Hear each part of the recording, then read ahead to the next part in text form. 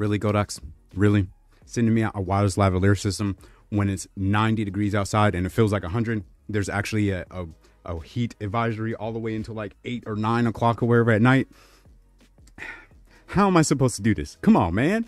nah, it's not Godox's fault. But Godox sent out the WECS Kit 2. This is a wireless lavalier system that is going to be, I'm going to go ahead and say it right now. It's going to be the very best budget entry level I would say wireless lavalier system for people who are getting the likes of the Sony ZV-E10, maybe the Alpha 6700, uh, the Sony, um, I would say ZV-E1 and possibly the Mark II of the Sony ZV-E10. So Future Squid here, I emailed the Godox representative asking them if there is a list of Sony cameras that this hot shoe technology connection does not work with. And they emailed me back and telling me that it was only the Sony ZV-1F that d- does not take advantage of this technology, but every other Sony camera should be fine. I have the Sony ZV-E10 and I also have the Sony ZV-1 and the Sony Alpha 6100. The Sony Alpha 6100 and the Sony ZV-1 does not work. I get this error message that I'll put on screen from both cameras, but the Sony ZV-E10 it does work with. This leads me to believe that either A, it's because it's the Mark 1 of the Sony ZV-1 line, and obviously the Sony Alpha 6100 is a super old camera, so that makes sense for that camera. But as far as the Sony ZV-1, I, I imagine, like I said, it's either because it's the Sony ZV-1 Mark 1 that this technology doesn't work with, or it's a setting that I changed somewhere inside the camera that's causing it not to work and maybe I have to refactor reset my camera wherever but I'm not going to do that because I have the camera the way I want it as far as the settings and stuff goes. Um, and there's no way for me to verify if it works with the Mark II I have no idea but I would imagine it probably does because it came out after the Sony ZV uh, I would say E10, but it also might just because those are point and shoot cameras as far as the Sony ZV line goes, and the Sony ZV-E line is more of an APS-C and full frame cameras. So again, there might be some disparity between the two. I have no way of really confirming that or whatever, but just a rule of thumb, if you have the Sony ZV line, I would go ahead and let you know that if you are going to upgrade in the future to maybe one of their APS-C cameras or their full frame cameras, you could still get this system and just use the line out of the receiver to go straight into the camera's microphone port and you will still get really good audio. If you plan on not upgrading in the future or wherever and still keeping your point and shoot camera for whatever reason, you can still get this wireless lavalier system. You're just going to have to get the $100 version or wherever and not this 130 something dollar version because the $100 version pretty much is the same mic quality, it's the same system. It just does not have that hot shoe technology wherever attached to the actual receiver itself. And again, you could still future proof yourself by getting the hot shoe, you know, version. If you have one of those point and shoot cameras, just like I said, use the line out until you get the Sony ZV-E10 or maybe the Sony Alpha 6700. Both of those are really popular for entry level content creation. And with the rumors uh, of the Sony ZV-E10 Mark II just around the corner, apparently, uh, this is still going to be a very good option to get instead of going out and getting like the DJI system wherever, which is anywhere from a hundred and something dollars, two hundred to maybe three hundred dollars, and then you have to get the hot shoe, you know, adapter or wherever, which is another forty dollars. And don't get me wrong, the DJI system and other systems out there that have this hot shoe connectivity, even from Sony, are really nice options and everything, and they're really good systems. They're just really expensive for people who are going to be getting into, you know, budget entry level content creation. Whereas this system at this price point with a hot shoe connectivity is very compelling, in my personal opinion. And a little spoiler alert, I think the audio sounds pretty good. All right, now, so all of that out the way, I do want to go ahead and go over briefly what you get in the box. You do get three different furry windscreens or whatever because there is actually a microphone on the back of the receiver as well as the microphones uh, or whatever that you have inside the box. I want to go ahead and say that all these microphones sound the same. So there's really no point for me to cover the microphone on the back or whatever for the audio test. So we won't do that but essentially again they all sound the same you just get a little bit more of a proximity effect because essentially if you're holding your camera from a vlogging standpoint or sitting behind the tripod you are going to be a little bit more closer to the actual back of the microphone so just keep that in mind but you do have a switch to toggle on and off wherever the microphone for the back. So that's pretty nice. You do have a digital and analog little switch or wherever. So that means if you're running the line out or wherever, because maybe you have the you know the Sony camera or wherever that does not you know work with this and you're planning on getting like the Sony uh, ZV-E10 or another camera in the future you could still pick this up and it will be able to um, future proof yourself pretty much because again it's still going to be able to work with the said camera. Now you have the power button or wherever to turn off the receiver and turn it on so you don't really drain the battery and stuff. You do have a plus and minus we'll get to that in a second but you do have a relink if you hold it down and you do have a mode if you hold that down which will for the mode, it will switch you from mono to stereo.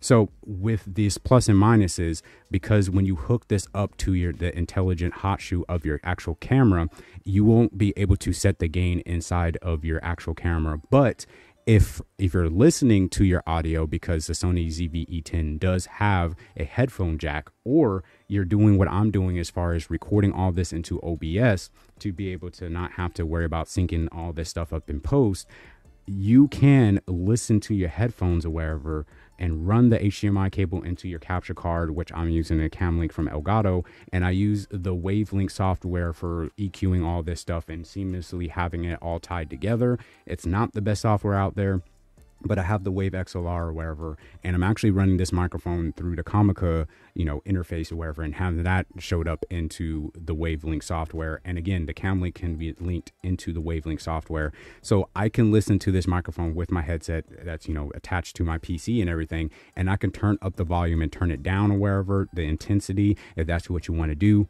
The, the, good thing about the Wavelink software, though, you can add VSTs and plugins, so you can already have EQ set for this wireless lavalier system inside of Wavelink. And you could probably do the same thing if you have just a cam link or a capture card to capture the audio from your camera. You can just go ahead and put it into OBS, use some free plugins or whatever for OBS, wherever to EQ this microphone and essentially just record. You know what I'm saying? And there's downsides to it. People say SD card recording is better. Don't use the OBS, even if you're capturing 4K, all that stuff. Look, I've been using this method or wherever for at least probably like a year and a half as far as being in this room, recording into OBS 4K, 1080p, whatever it may be, and streaming and doing all this stuff wherever, and never had a problem, never had an issue. With that being said, again, having the audio adjust right there, being able to run it, you know, straight through a USB capture card or something like that, capturing the audio into OBS, having free plugins wherever to get the microphone to sound good, and then using those same plugins in your editing software for when you take your camera out and about vlogging and all that stuff you have those saved presets or wherever so you're gonna capture good audio wherever no matter where you go you're still gonna have the same audio sound and like i said you have the usb type c connection right here to charge it up or wherever if you need to on the bottom of the actual uh, transmitter you have a usb type c nothing on the sides on the front you have a green light that will let you know that hey you're paired with the actual receiver and then when you took out the other microphone, this other light will pop up. Once you hook this up to your intelligent hot shoe, this little light over here will turn blue to let you know that it's activated. If it doesn't turn blue and you get that error message, then you know that you're going to have to use the line out and obviously switch the mode respectively. You can't use both modes at the same time it's just the way the device works. And then down here, you have the push whoever to deattach it from your camera. Over here, if you tap this button once, you will go ahead and turn on the denoise or wherever, which is the digital little processing or wherever. We'll test that outside. On the 7Ryms one and some other lavalier systems or wherever that have done reviews on in the past, it will be linked in the description. These don't really work that well, but I'm curious because Godox is more of a premium brand, in my personal opinion, as far as in the space of having, you know, a camera accessories and content creation accessories. I'm wondering if this is actually any good although it's super uh, hot outside, I doubt it would do anything. So we're going to have some fans going on in the office and I'm going to see if it does anything in here. But again, tap it to, you know, turn it off or wherever and it turns back green from orange. And then you have the relink or wherever with the transmitter that you can do from there. And you also have a separate power button or wherever. So you can leave this on, turn it off, turn it back on or wherever from the action module. It's not going to just stay on all the time if you don't need it to save, again, battery life. And I'll put the battery expected life or wherever on screen so you guys can get a general sense Inside the uh, carrying case, obviously you have the three things with the contact pins or wherever to go in there. You do have, you know, four different LEDs at the bottom wherever the carrying case. On the back wherever is this nice little I don't know, rigid kind of filling thing, and then a USB Type C, and then I'm pretty sure this is probably like a reset button. But yeah, overall nice little uh, carrying case and i say it's pretty slim easy to fit in a kit to a camera bag. You do get another carrying case uh, you know with this own little lanyard or whatever attached. You can put all the cables that come with it here and then under here you put the charging case. I'm not really sure why this flap is separated but you know it's a nice little touch because maybe you could put something else on top. I don't know. Um, but you know what I'm saying? Overall, it's pretty nice. There's nothing too wrong or whatever bad about it. It feels pretty good and decent or wherever as far as a carrying case goes. You get a small USB type C cable. You do get your TRS to TRS cable and your TRRS to TRS cable. Uh, you get your little manual and you know quick start guide, but it does work with the Sony ZV-E10 and that's what we're going to be testing it today. But let's go ahead and test the audio because I've been rambling a little bit too long. All right, so this is an audio test of the Godox WECS Kit 2 with the actual receiver from the transmitter turned down all the way to the lowest volume I could possibly get on the actual receiver. I do have my computer that's been running over here and I do have this fan or wherever that's you know turned on or wherever behind me that's blowing. I have some AC blowing and I do have a fan that I'm going to end up turning on three different levels that is probably like an arm's length and a half away from me pointing at me because again it's hot out and uh, the studio lights and everything like that. So this is the ambient room I would say noise at the lowest level possible um, and this is how it sounds. All right so now I'm going to turn the fan that's an arm's length and a half away from me to level one now, I do want to state that this fan is going to be turning off and on because it's set to turn on if the room gets 80 degrees. So again, it's smart, intelligent uh, fan or wherever. It's a really nice fan from Govee, by the way. Um, and again, this fan or wherever is not, so this is the way it sounds.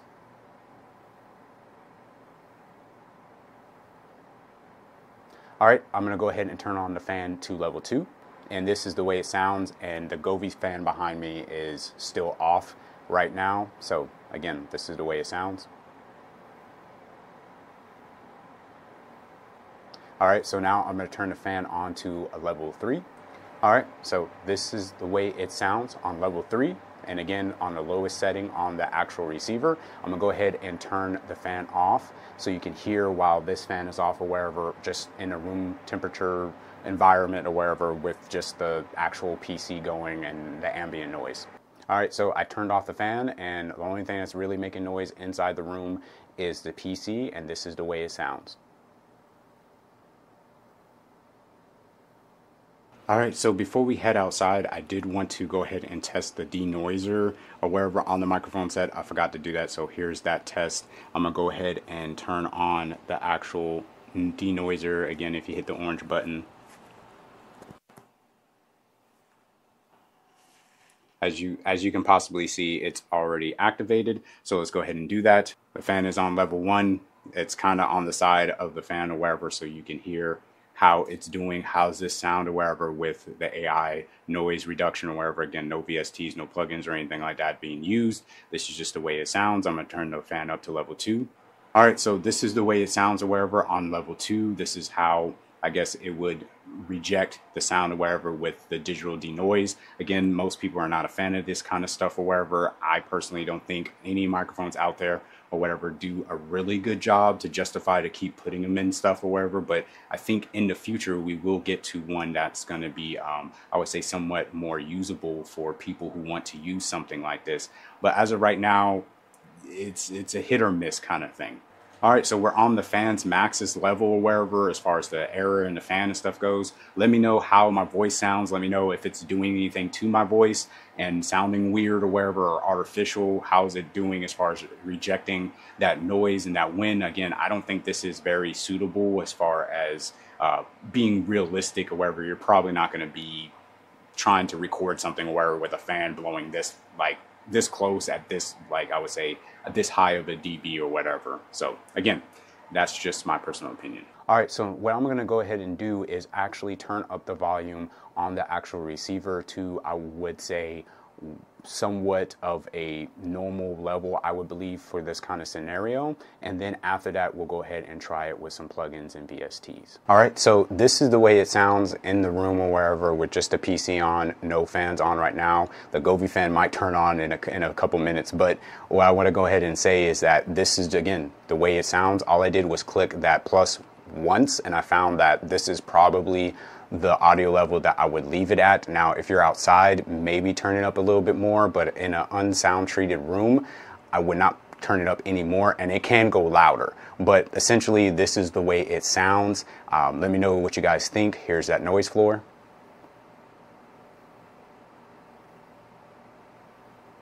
Okay, so now I'm gonna go ahead and turn on the fan or wherever to level one.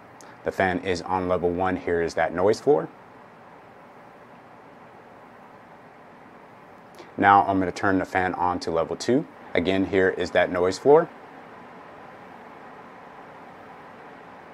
And all right, I'm gonna go ahead and turn the fan level up to level three.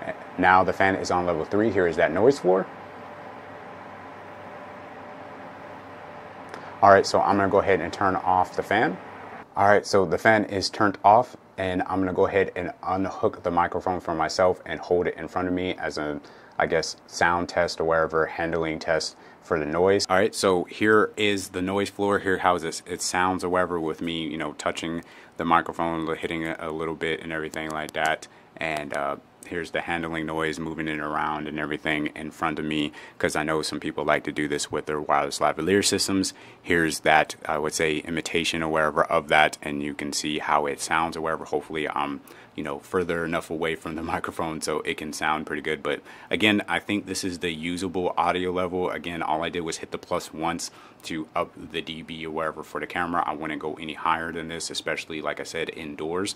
But honestly, I think that it sounds pretty decent or wherever. And again, we haven't even, I would say, added VSTs or plugins or anything. Super simple setup. This is what it sounds like with some VSTs and stuff added in the normal ambiency of, a say, of this room. Again, no fans are on or anything like that. It's just my PC going. And I'll try to put on screen the VSTs that wherever that I use. It's some presets that I use for my normal microphones for streaming and you know, the microphone I was using earlier or wherever. So it's not a EQ that's really dialed in. But the important things is is that I added a de-esser, I added a noise gate, and I added a background noise removal. Um, that I you know highly recommend or wherever again there's videos out there of how to get these plugins from Elgato or just you know free plugins out there that you can use so you can do it for yourself um, the only one that I would recommend adding on top of this and I probably will go ahead and do it here is now you're probably hearing I would say the actual uh, echo removal or wherever that I paid for. And it's from Crunkle Pop, if I remember correctly, or CrumplePop, something like that. I'll leave a link to it down in the description. But essentially is is you can pay for it, you can download it or wherever, drag that plugin into DaVinci Resolve. And as long as you don't open up the actual um, I would say app or their separate, you know, dashboard app or wherever on your PC, um, I've been using it for free.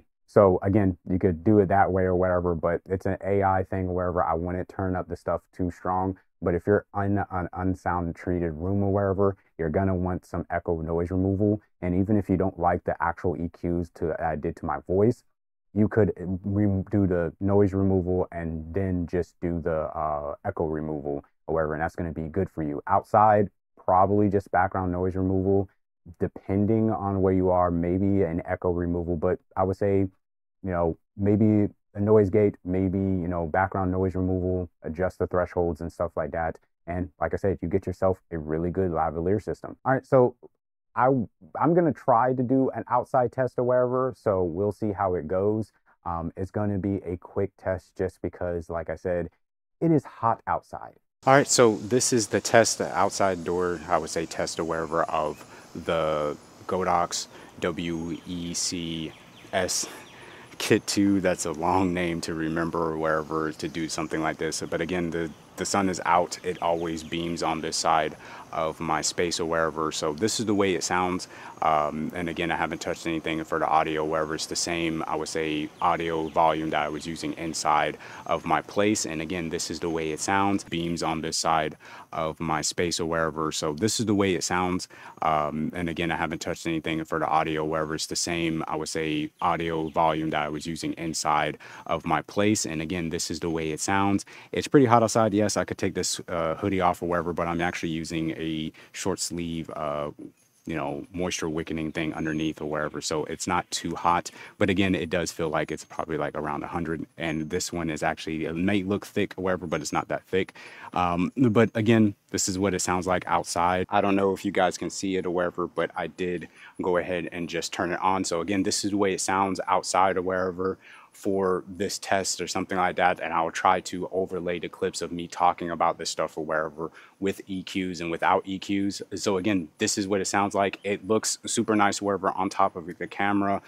I don't know if you guys can see it or wherever, but I did go ahead and just turn it on. So again, this is the way it sounds outside or wherever for this test or something like that. And I'll try to overlay the clips of me talking about this stuff or wherever with EQs and without EQs. So again, this is what it sounds like. It looks super nice wherever on top of the camera, you know, not having any wires or wherever. And like I said, I can back up and still capture my audio wherever I can, you know, move forward and stuff like that. I can freely talk and move around and everything. Thing about the distance test and everything with these wireless transmitters, it's a no brainer. You don't want to go, you know, super far away and obviously leaving your camera somewhere and trying to do that stuff wherever.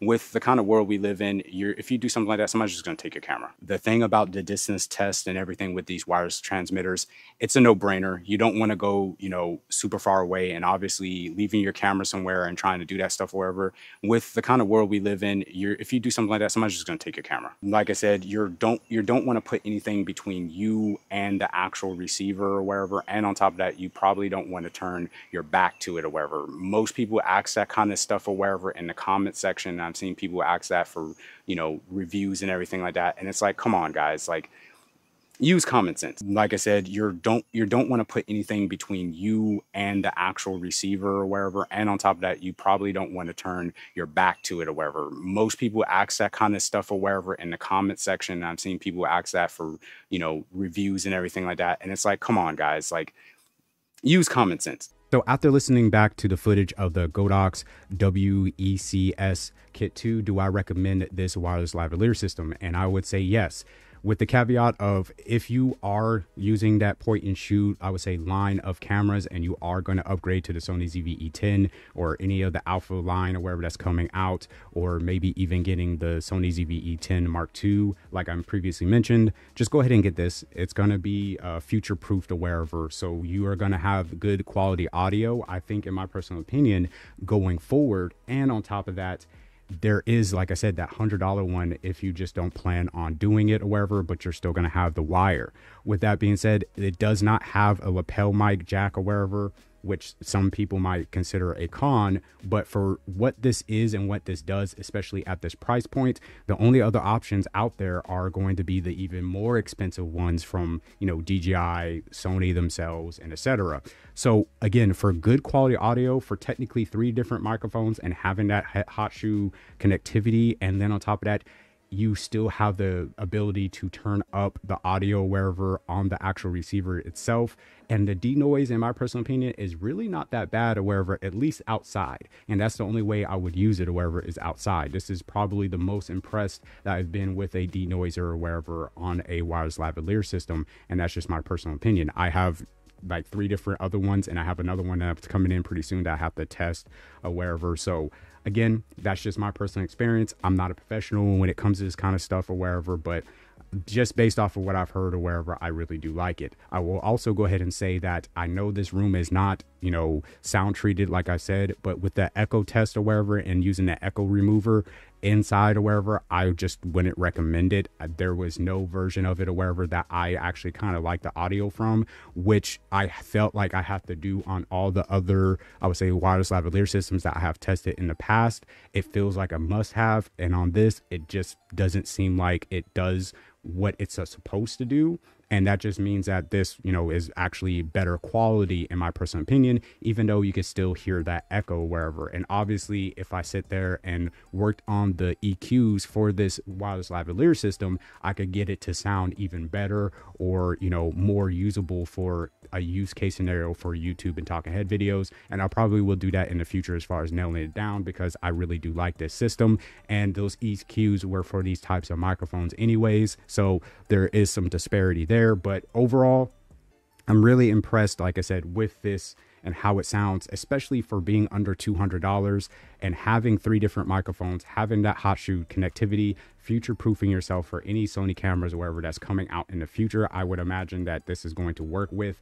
It's just, it's like I said, it's kind of sad that it didn't work with my Sony ZV-1 because that's the kind of camera that I would take out, you know, in a little sling bag or something like that and vlog with and still having to use their wire or wherever. It's just kind of upsetting. But at the same time, like I said, it might be a setting inside the camera, or it might just be because it's a point and shoot or the, you know the Mark One instead of the Mark Two. Again, I have no way of verifying all that information. But like I said, inside the EQ sounded pretty good. Would not use the echo remover outside or wherever sounds pretty good to me at least especially turning up the volume by one or wherever on the receiver outside.